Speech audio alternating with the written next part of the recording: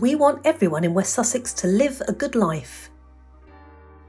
The life you want to lead is our plan for achieving this ambition in our adult social care services. It will guide how we help people who need care and support and is based on what you've told us is important to you.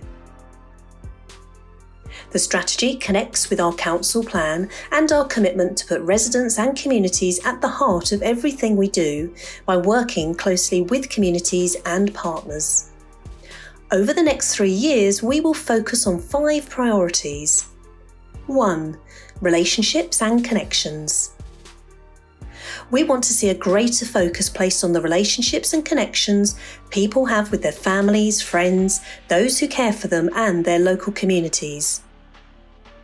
2. Empowerment. Support people to take the lead in decisions about their own care. Value and promote the positive role paid work can play in people's lives. 3. Home. People have the opportunity to live in a place they can call home. They should feel supported, safe, and connected to the people they care about. 4. Addressing gaps.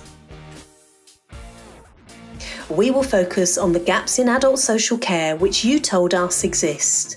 They are the shortage of care workers, support for people with autism and those who have an acquired brain injury, moving from children's to adult services, also known as transitions, and paying for care. 5 inclusion and tackling inequalities. We want all adults to have an equal and fair chance to get the support they need.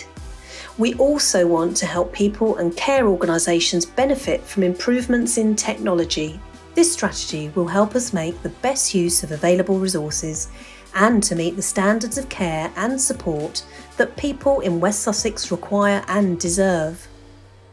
It will also help manage the challenges adult social care is facing now and in the longer term.